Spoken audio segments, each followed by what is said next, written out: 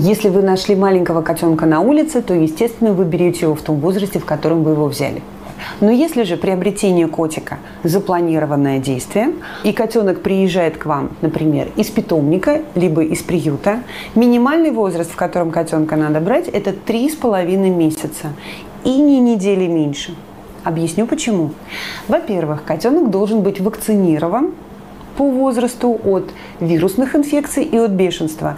И он должен пройти карантин в том месте, в котором он раньше жил. Если котенок переедет сразу после вакцинации, либо карантин не будет выдержан до конца, либо против вирусных инфекций не будет ревакцинации сделано, от стресса в момент переезда котенок может заболеть тем, от чего его прививали. Некоторые считают, что надо брать маленького котенка в месяц, в два месяца. Он такой миленький, мы будем о нем заботиться, мы его хотим воспитать под себя. Вот это мое любимое.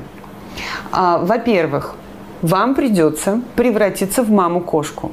Особенно если речь идет о месячном либо полуторамесячном котенке. Что это значит? Нужно будет водить котенка в туалет, нужно будет вылизывать ему попу, ну, вылизывать условно, естественно. Нужно будет показывать ему, что такое когтеточка, нужно будет терпеть переходный возраст во время переходного питания, а, возможно, срыва ЖКТ, потому что организм не готов к новой пище и могут быть рвоты, поносы и так далее. Это не очень веселая и интересная история для того, чтобы ею заниматься дома. Есть возможность, дождитесь чтобы котенку исполнилось 3,5, а лучше 4 месяца. В этом случае вы будете точно знать, какой у котенка характер, и вы будете понимать, впишется ли он в образ жизни вашей семьи. Малыши все миленькие, все обаятельные, но что из него вырастет, вам не сможет гарантировать никто.